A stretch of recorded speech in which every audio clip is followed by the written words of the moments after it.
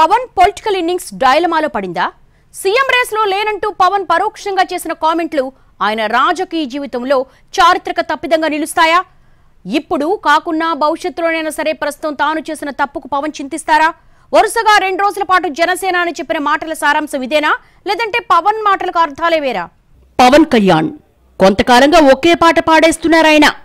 వచ్చే ఎన్నికల్లో వైసీపీ వ్యతిరేక ఓటు చీలనివ్వరని కలిసొచ్చే పార్టీలతో కలిసి వెళ్తారని చెప్తూనే ఉన్నారు.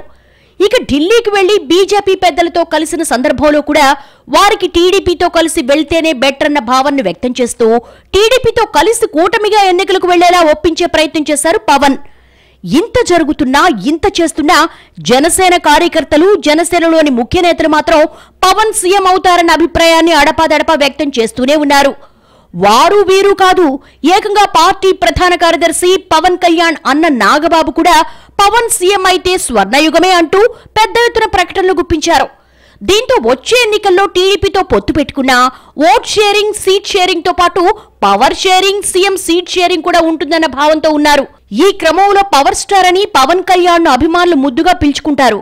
దానికి సార్థకత చేకూరుతుందని అంతా భావించారు. కానీ గురువారం పవన్ చేసిన కామెంట్లతో అంతా తారుమారైంది. ఇప్పుడిదే ఏపీ రాజకీయ వర్గాల్లో హాట్ టాపిక్గా మారింది. పొత్తులపై మరింత స్పష్టతనిచ్చే ప్రయత్నం చేశారు జనసేన అధినేత. పొత్తులుంటాయని ఆ పొత్తులకు సీఎం పదవి ప్రామాణికం కాదన్నారు. తనకు సీఎం పదవి ఇవ్వాలని టీడీపీ బీజేపీలను అడగబోనని అన్న పవన్ కళ్యాణ్ ముఖ్యమంత్రి పదవి వరించి రావాలన్నారు. కండిషన్లు పెట్టి ముఖ్యమంత్రి పదవి సాధించలేమన్నారు. పవన్ కళ్యాణ్ ఈ తరహా ప్రకటన చేయడం ఎంతవరకు కరెక్ట్ అన్న చర్చ జోరుగా సాగుతోంది. క్లారిటీ ఇచ్చే ప్రయత్నంలో భాగంగా పవన్ కళ్యాణ్ భారీ మూల్యం చెల్లించుకోబోతున్నారా అనే చర్చ జోరుగా సాగుతోంది. పవన్ కళ్యాణ్ సీఎం కానప్పుడు ఆ పార్టీకో ఆ కూటమికో తామెందుకు ఓట్లేయాలన్న భావన బలంగా ప్రజల్లోకి వెళ్ళే ప్రమాదం లేకపోలేదన్న ఆందోళన జనసేన వర్గాల్లో కనిపిస్తోంది. పవన్ పూర్తిగా చంద్రబాబుకు లోబడి పనిచేస్తున్నారని చంద్రబాబు చెప్పినట్టు ఆడుతున్నారన్న విమర్శలకు మరింత బలం చేకూరినట్టుగా పవన్ ఉన్నారన్న చర్చ నడుస్తోంది. ఈ క్రమంలో పవన్ తనంతట తాను అధికార పార్టీకి ఓ భారీ అస్త్రాన్ని ఇచ్చారనేది ఓ వాదన. దీనికి పవన్ భారీ మూల్యం చెల్లించుకోక తప్పదని అంటున్నారట.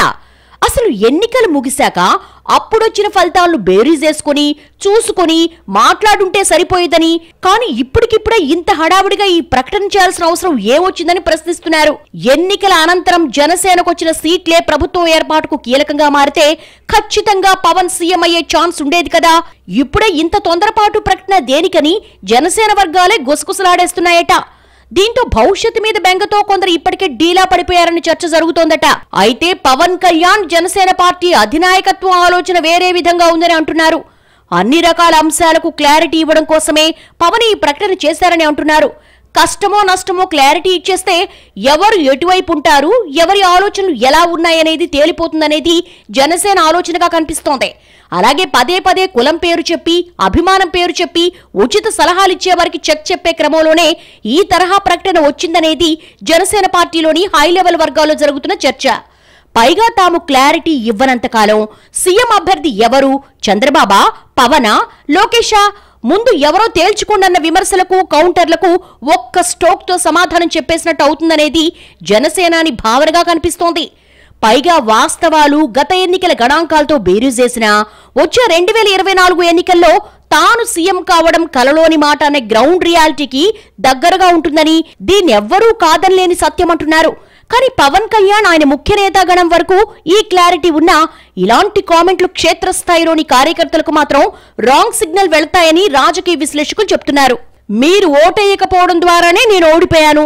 చప్పట్లు కొట్టడం కాదు ఓట్లయ్యాలి.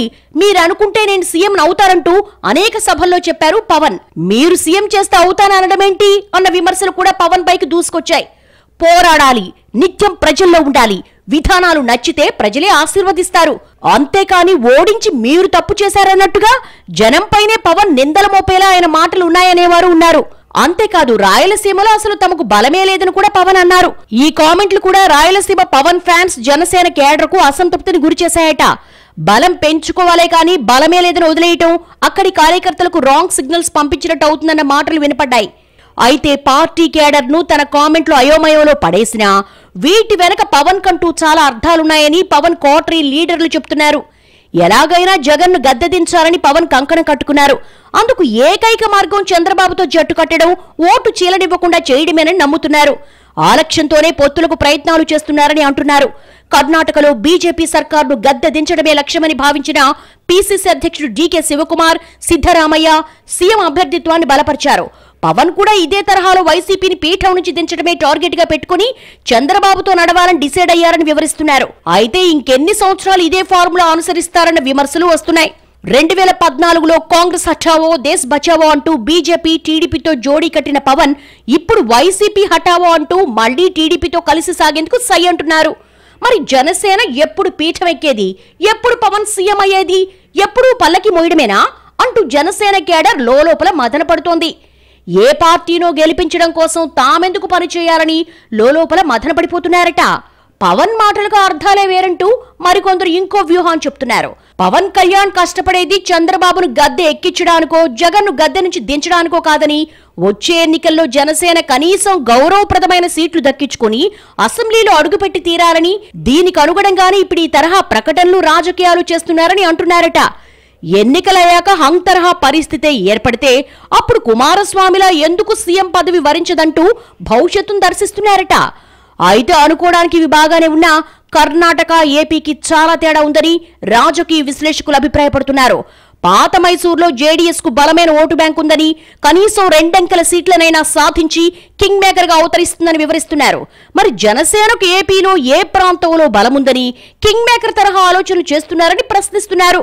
పార్టీని బలోపేతం చేసుకోకుండా అసెంబ్లీలో అడుగుపెట్టాలని ఎలా అనుకుంటున్నారని చెప్తున్నారు. మొత్తానికి పవన్ కళ్యాణ్ ఆలోచనలు వ్యూహాలు ఎలా ఉన్నా ఆయన కామెంట్లు మాత్రం జనసేన కేడర్ను మరింత కన్ఫ్యూజన్లోకి నెట్టేస్తున్నాయి.